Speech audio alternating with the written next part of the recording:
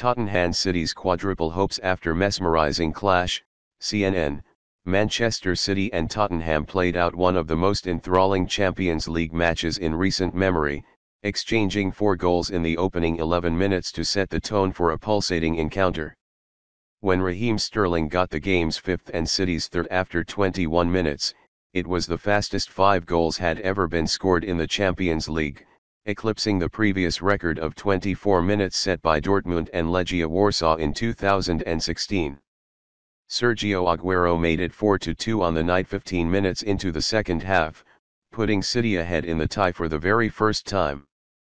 Just as it was looking like the hosts would put Spurs to the sword, a period of Tottenham pressure ended with substitute Fernando Llorente bundling home Kieran Trippier's corner to once again swing the tie in the visitors' favour.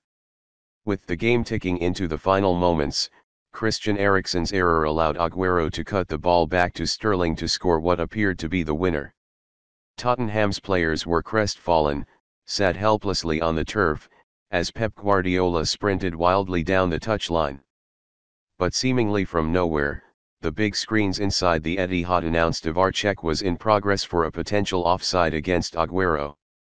The entire stadium held its breath and when referee Cüneyt Çakır overturned the goal, it was as though the Etihad's energy had been deflated in an instant. Ecstasy to agony in the blink of an eye. The crowd fell silent as Çakır blew the whistle for full time, save for the small pocket of delirious and disbelieving Tottenham fans in the far corner. I must be one of the luckiest guys on the planet I think, Eriksen told BT Sport after the match, a nervous smile plastered across his face.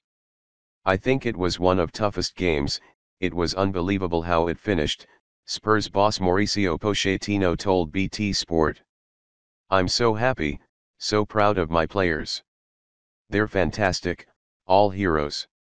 I'm so happy for them, for our fans, for everyone. But we have to get ready for Saturday, he laughed, referring to Tottenham's Premier League clash against City. Four-goal flurry in the build-up, with the tie finally poised after Tottenham's 1-0 win in the first leg, most believed the Londoners held a slender advantage over their northern rivals. But City are formidable opponents on home soil, having already scored 48 goals in all competitions so far this season. It now seems ludicrous that another four against Spurs Wednesday still wouldn't be enough. It took just four minutes for Sterling to level the tie on aggregate, cutting inside Trippier's non-existent challenge and curling a delightful finish into the far corner. The pre-match nerves which had lingered around the Etihad were at once banished as the stadium erupted. It was a thrilling start to the match, but nobody could have predicted what would transpire in the following six minutes. Almost immediately from the restart, Tottenham found themselves on the edge of City's area the first time in the opening exchanges Spurs had even left their own half.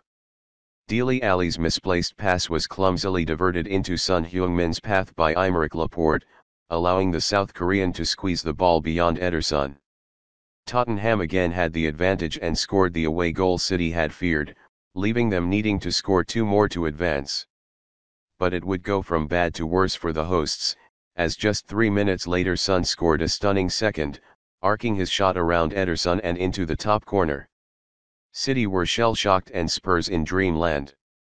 Guardiola's side now needed three goals to advance, surely a step too far even for free-scoring Manchester City.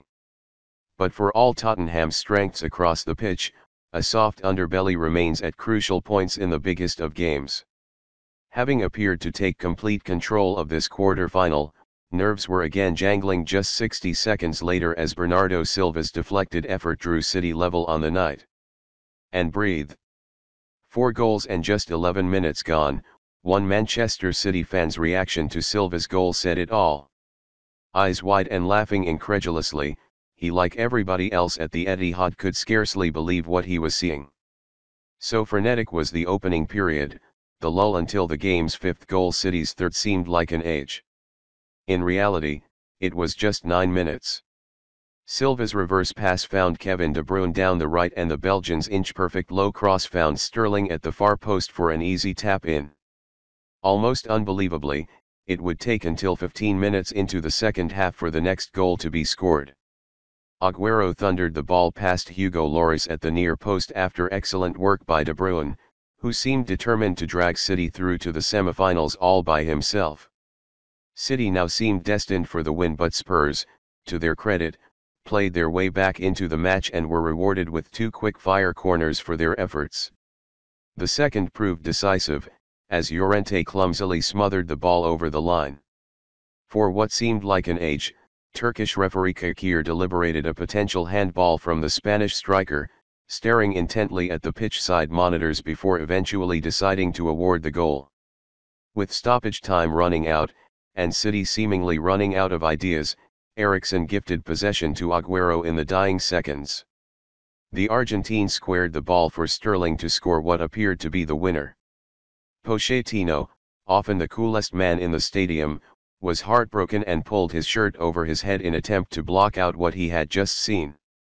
But just when Pochettino and Spurs had that familiar sinking feeling, VAR threw them a lifeline and overturned the goal in the most spectacular of circumstances.